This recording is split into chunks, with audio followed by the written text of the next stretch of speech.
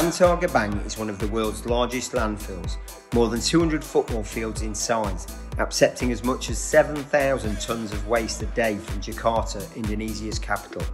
Over 20,000 people, including children, live on and around the site, many gathering recyclables to resell. Lockdown has closed the recycling plants and meant all of these families are without funds and no access to food. Special circumstances encouraged Ressa, the founder of BGBJ, to spread the love in these hard times and to let the world know that no one is alone. Last Night a DJ has sponsored food supplies to their precious trash heroes and their families. We've already provided 238 packages of special food parcels and nutritious cooked meals which were distributed to the families living on Bantar Gebang landfill. With support from Last Night a DJ's Set for Love, we have brought a lot of happiness to people with our food parcels. Thank you, Save Last Night, DJ, Save My Life.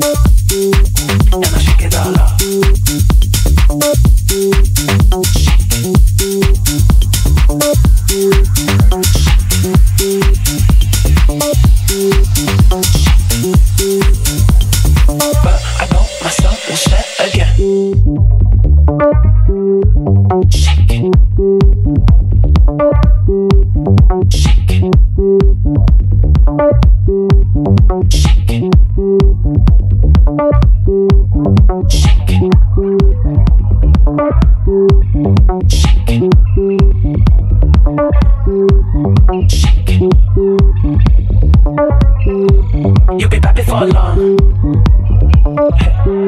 And I shake it all up.